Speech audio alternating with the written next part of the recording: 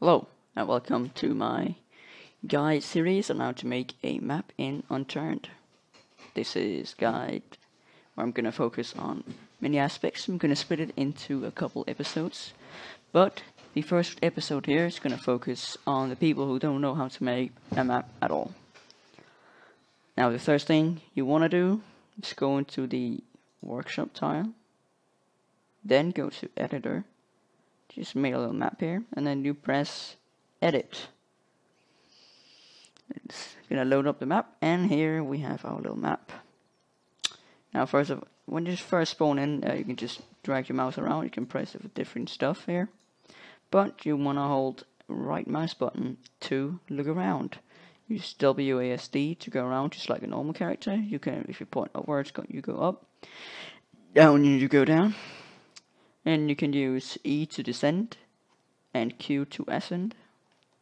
This can be useful sometimes, but I mostly use the WASD.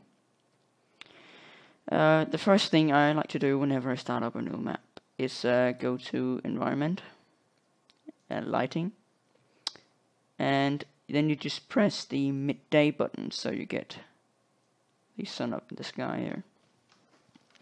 This is just so you can see better and probably that's also how your map is going to be most of the time.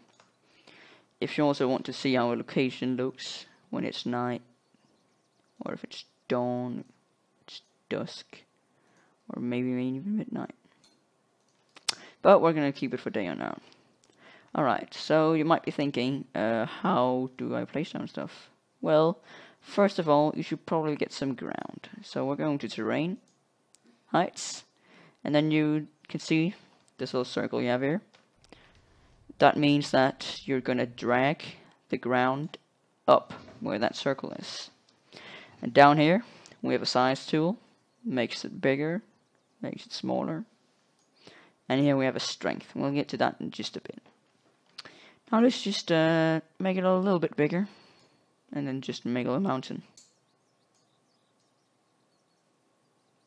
Like that.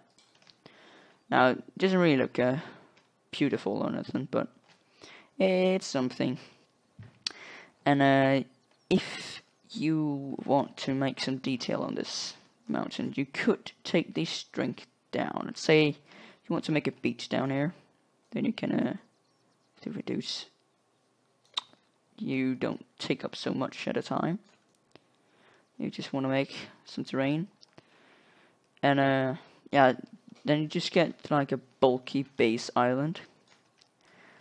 And uh, some other stuff that's really useful to know is the smoothing tool, which you press W, that's the uh, default key. Uh, it smoothens down the terrain, so it's smooth. Uh, bear in mind that it's very good for if you have spikes in your terrain and you don't want spikes or if you mess something up you just want to make it look natural again then this move tool is really good. And uh, probably the most useful tool is the flatten tool. This tool is used when you uh, put your mouse over a piece of terrain and press E. You see the uh, arrows go down to that point. And that basically means that um, in, in for this circle, all terrain is going to have that exact same height. So if you want to make a big flat area, this is the best tool for you. So let's go ahead and do that. Make a nice big flat area. Then we can use the smoothing tool so it doesn't look unrealistic. There we go. And now we have a big flat area here. This uh, is what we're gonna build some stuff on. But first of all, let's go to materials. Now, this is just a big chunk of sand. That's not really uh, that beautiful to look at, as you can see. So what we're going to go ahead and do is just really simple, bake high quality.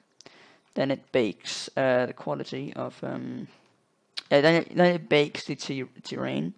So it adds dirt at the um, steep edges, it adds sand here on the bottom, it adds grass uh, everywhere else, really. This is, um, you can also go ahead and edit each and individual like if you want sand to be a bit higher, you can uh, increase sand. uh, if you want uh, dirt not to be steep, so it gotta be steeper so there's more grass. We could go ahead and do that, or the opposite way around. We can also make it more, so it gotta be steeper before that it adds dirt. Or we could go ahead, what I like to do, and put some steepness on some, oh wait, no, on some rocks instead. So at the really steep places, let's try and make like a cliff, hang on. Go back to heights, and we can uh, just take the bottom of the ocean and just kind of do this.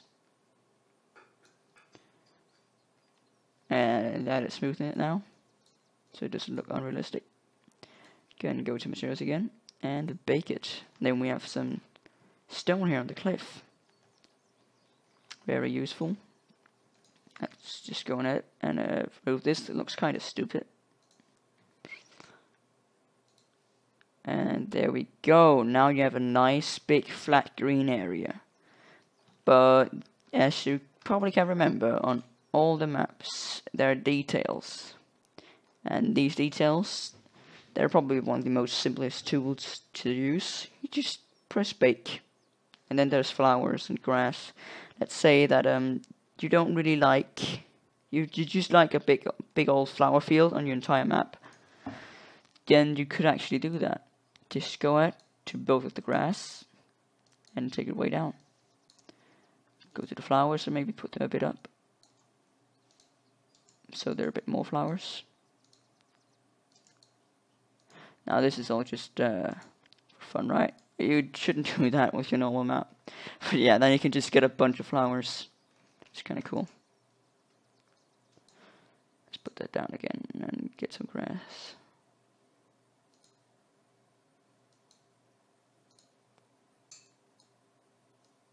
You can uh, also make the grass more dense. I did that on some of my maps, or you can make it less dense. This you can also only take one type of grass if you want to. It's uh, all up to you really, up to preference. And uh, then also, before we put trees down, let's just uh, go to the uh, level. That's the uh, world, it says there. And uh, then we go to objects. And then you see a huge list over here. With all different kinds of buildings. Now, I do have some mods installed. I tend not to use them because they don't really fit with the unturned. But let's go ahead and just search. You can search up here. Remember, it's the object name filter and not this one up here. It's this one. And then let's just go ahead and type house. And Then uh, let's just take house number one and put it down like that. And we have a nice little house here. And remember that it always has the floor at the same level as the grass, so you want to put it a bit up. There we go. Have a nice house. But inside this house, there's a bunch of grass. And we don't really like that, of course. So we're to go back to terrain. And we're to go to materials. Because then if we bake again, look, there comes gravel around it. Which means that we can go back to details and bake because grass doesn't bake on the gravel. And there we have it, a little house. Nice, and a little house in the middle of nowhere. Now let's say that um we could go ahead and uh, make a little dock over here for him. We'll just take dock number one, place it down.